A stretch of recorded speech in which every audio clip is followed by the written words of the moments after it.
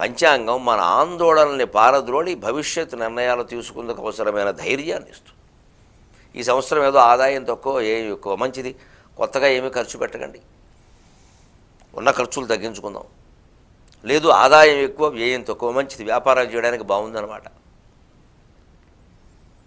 భార్యాభర్త కూర్చుని పెద్దవాళ్ళ సలహాలతో మంచి ప్రణాళిక వేసుకుందుకు పంచాంగం చాలా బాగుంటుంది.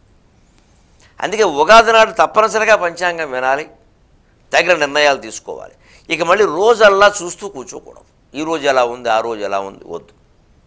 దానికి అనుకూలంగానే ఒక పద్యం చెప్పి నేను సెలవు తీసుకుంటాను రోజు చూడడం ఎలాంటిది అంటే దినదినం ఆందోళనతో దినఫలములు చూచుకొంచు తిప్పలు పడుచును దినదినం ఆందోళనతో దినఫలములు చూచుకొంచు తిప్పలు పడుచు.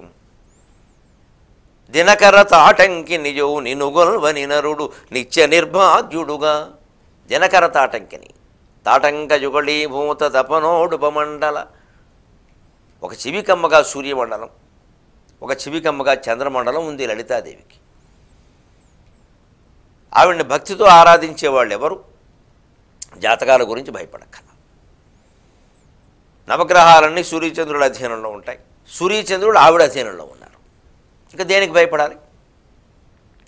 భగవద్భక్తిని మన మనస్సులో నిరంతరం శ్రీమాత్రే నమ శ్రీమాత్రే నమ శ్రీమాత్రే నమ నమ శివాయ నమ శివాయ నమో నారాయణాయ నమో నారాయణాయ.